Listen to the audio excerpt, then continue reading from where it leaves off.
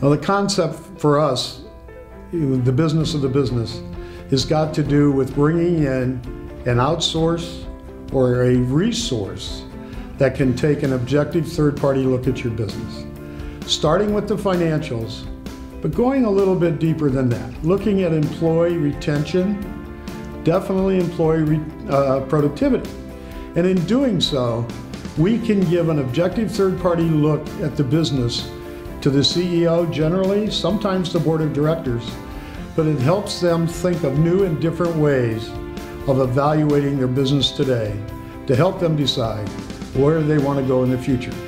So the business of the business is to try to get away from just coming in and saying, I'll walk the halls and I'll meet the people. It's taking a very objective look at the results over the past three years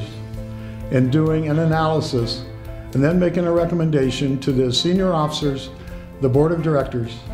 on how they might be able to make better decisions moving forward.